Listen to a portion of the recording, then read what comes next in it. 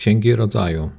Pan ukazał się Abrahamowi pod dębami Mamre, gdy siedział u wejścia do namiotu w najcieplejszej porze dnia.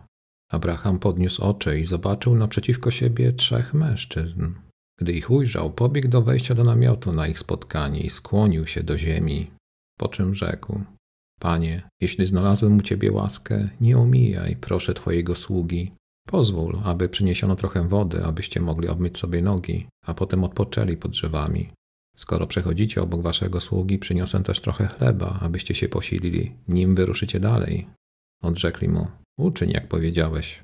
Zapytali go: Gdzie jest Twoja żona Sara? Odpowiedział: Jest w namiocie.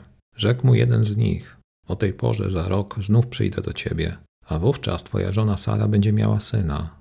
Sara zaś stała przy wejściu do namiotu, tuż za Abrahamem i przysłuchiwała się rozmowie. Abraham i Sara byli bardzo starzy.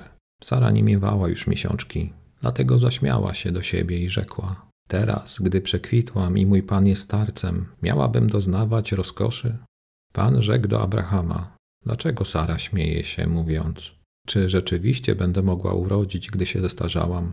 Czy dla Pana jest coś niemożliwego? Za rok o tej porze powrócę do Ciebie, a Sara będzie miała syna. Z Ewangelii Świętego Łukasza. Jezus przyszedł do jakiejś wioski. Tam przyjęła go do swojego domu pewna kobieta imieniem Marta. Miała ona siostrę o imieniu Maria. Ta usiadła u stóp Pana i wsłuchiwała się w jego słowa. Marta natomiast była pochłonięta licznymi posługami. Zatrzymała się więc i powiedziała: Panie, nic cię to nie obchodzi, że moja siostra zostawiła mnie samą przy usługiwaniu? Powiedz jej, żeby mi pomogła. Pan jej odpowiedział: Marto, Marto, martwisz się i niepokoisz o wiele, a jedno jest potrzebne. Maria wybrała dobrą część, która nie będzie jej odebrana w tym zestawie biblijnym, który nam Kościół daje do rozwagi, zastanowienia, mamy y, takie dwie sceny, dwa obrazy spotkania się człowieka y, z Bogiem. I w obydwu y, scenach jest tak, że Bóg przychodzi w takim bardzo zwykły sposób, no powiedzmy bardzo ludzki, że ten Pan Bóg nie jest kimś takim niedostępnym, niebotycznym, niewidzialnym, majestatycznym, absolutnym. On tam sobie gdzieś tam chrupie, te, te podpłomyki y, pod namiotem Abrahama. Tutaj znowu y, siedzi może na jakimś y, miejscu wcale niezaszczytnym w domu u Marty.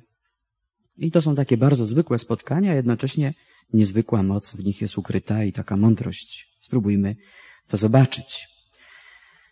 W dzisiejszym psalmie też usłyszeliśmy, że ten zamieszka w domu Boga, kto mówi prawdę w swoim sercu. To są takie słowa bardzo ważne, bo nie wystarczy mówić prawdę, ale jeszcze prawdę mówić w swoim sercu, czyli nie tylko wyrazić ją słowami, ale jeszcze, żeby to, co się mówi słowami, żeby to odpowiadało ściśle temu, co człowiek czuje.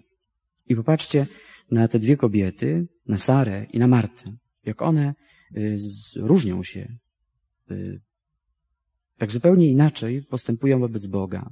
Sara y, jest w namiocie, ona się nie pokazuje Bogu, jest tam gdzieś zasłonięta z jakimiś tam kozimi skórami w tym koczowniczym namiocie.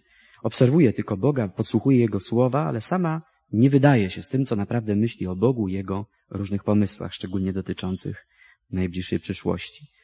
I w momencie, kiedy Pan Bóg e, wypowiada do Sary takie słowa, śmiałaś się, ona mówi, nie, wcale się nie śmiała. Wypiera się swoich uczuć.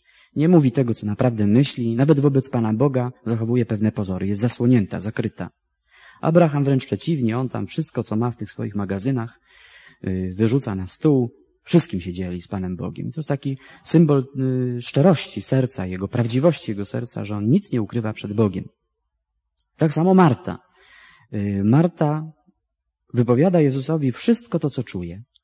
Nawet ma błędne uczucia, takie nawet trochę niesprawiedliwe te pretensje są jej do Marii. Powiedz, Panie, żeby ona tam coś zrobiła, y, żeby tak się zachowała jak ja może. Próbuje podporządkować tą Marię sobie, ale mówi to przed Bogiem. I popatrzcie, że y, na tle Sary to postawa Marty jest bardziej dojrzała, mimo tego, że jest może taka mniej prawdziwa. Bo błędnie ocenia sytuację i ma również pewne błędne uczucia. I to porównanie skłania nas do, do, do, do takiego wnioskowania, mnie, ciebie, że jeśli chcę być takim, jakim y, chce mnie Bóg widzieć w wieczności, to muszę mu uwierzyć, że może on mnie doprowadzić jedynie wtedy do tego, gdy zgodzę się przed nim z zaufaniem ujawnić to, jakim teraz jestem. Czyli, że mój kształt wieczności w przyszłości jest ściśle uzależniony od tego, czy ja jestem zdolny teraz powiedzieć to, jakim jestem. Czasem się tak mówi, że Bóg mnie kocha takim jestem. Dogmatycznie rzecz ujmując, to Bóg kocha nas takimi, jakimi będziemy właściwie. Tak to brzmi nawet y, dokumentach dogmatycznych. Ale to, jakimi my będziemy, zależy od tego, czy my jesteśmy w stanie wyrazić się przed Bogiem w tej prawdzie, jaka ona jest na dzień dzisiejszy. Bez względu na to, jaka ona jest. Jeśli Bóg jest prawdziwym przyjacielem, moim czy Twoim, to nie powinieneś się bać przed Nim być prawdziwy, prawdziwy wobec Niego.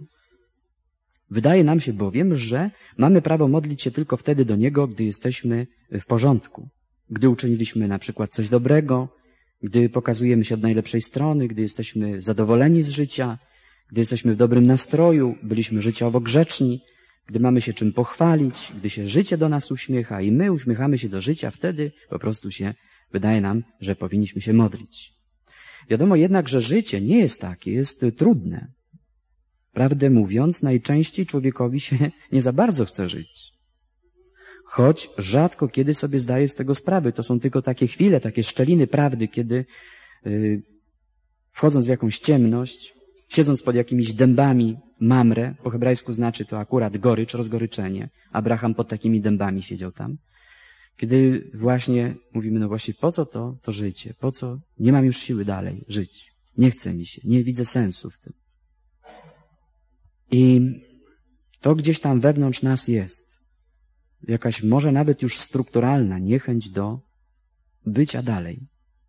Ale yy, skłonni jesteśmy uciekać przed tym odkryciem, a nawet udawać, że wszystko jest w porządku. Mówimy zupełnie tak jak Sara. Wszystko jest w porządku, Panie. Wcale nie ma w nas wątpienia w sens naszego powołania, w sens naszego życia. Tymczasem Sara wątpiła, ale nie wypadało przed Bogiem do tego się przyznać. To było trochę niegrzeczne, więc nie powiedziała tego, co naprawdę czuła. I popatrzcie, co się stało.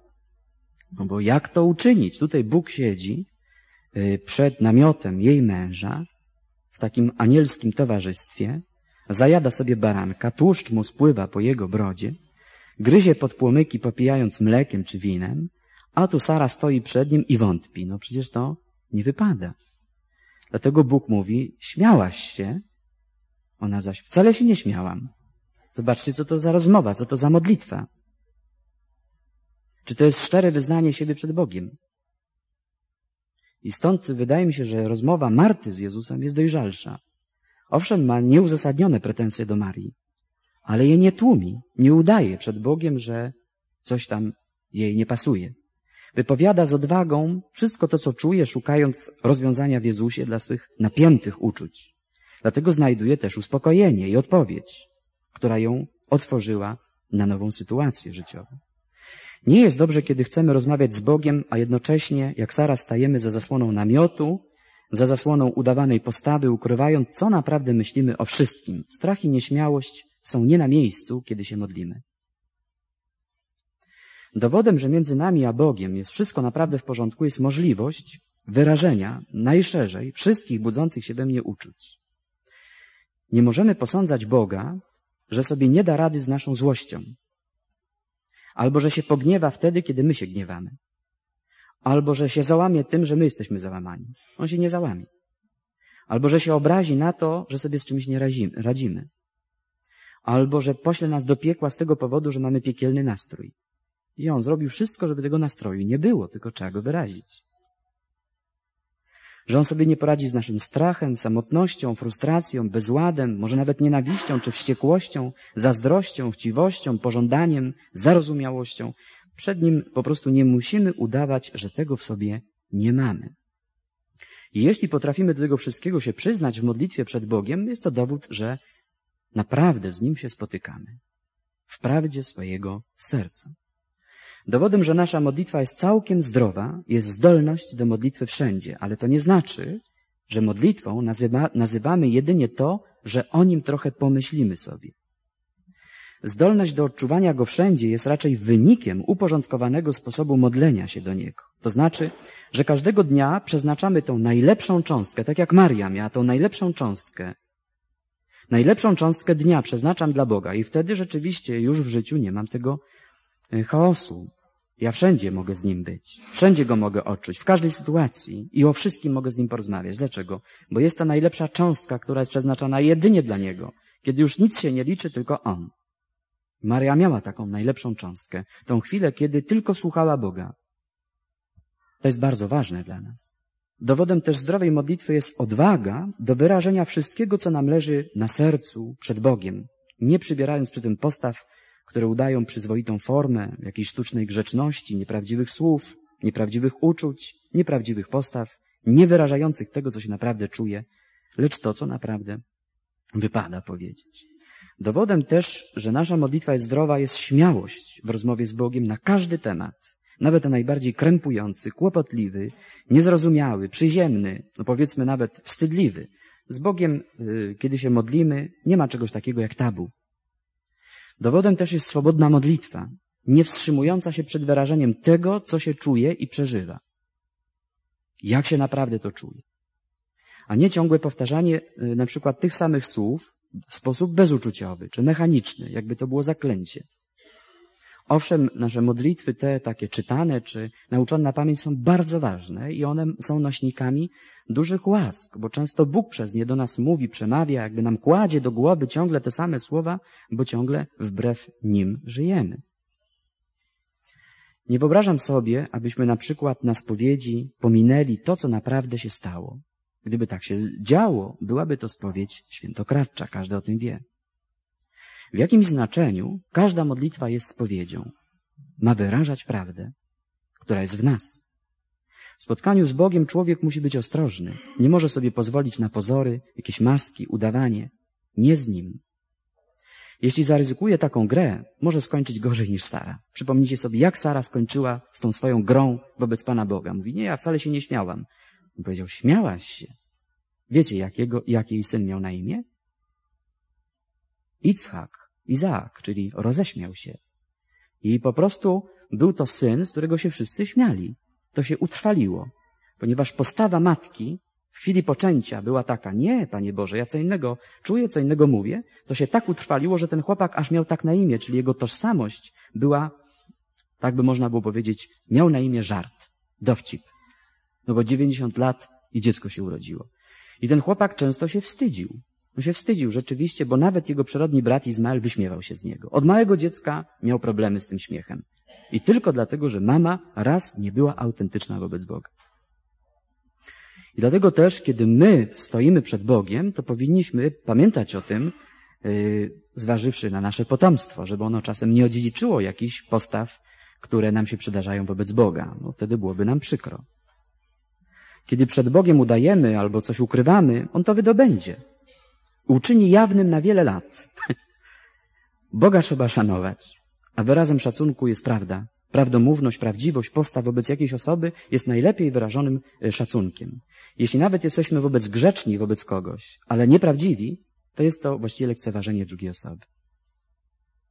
Marta jest zła, pełna nieuporządkowanych odczuć, chaotyczna. Ona się tam rzuca po tym domu, mówi coś tam o tej Marii, jest niesprawiedliwa w swych oskarżeniach, nie, nie za bardzo rozumie też swoją y, sytuację w domu. Ale to wszystko, zobaczcie, ona wyrzuca przed Jezusem wszystko, co ma na sercu, mówi.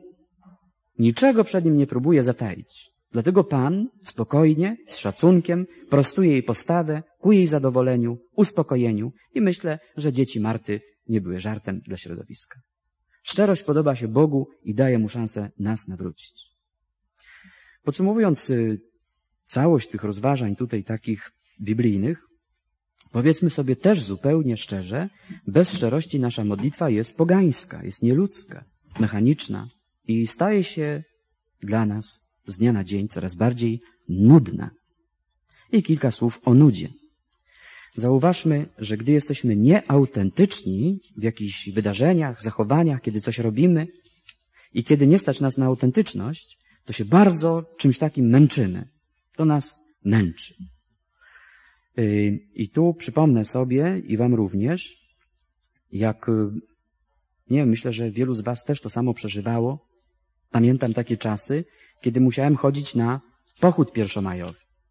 I w szkole nam mówiono, że jeśli nie będziemy tam obecni na tym pochodzie i jeśli nie będziemy wysłuchiwać tych przemówień, to dostajemy dwóje z, z pewnego przedmiotu bardzo istotnego, albo będziemy mieli kłopoty z rodzicami, będziemy musieli się pojawić, jakaś dysklasyfikacja może się pojawić nawet.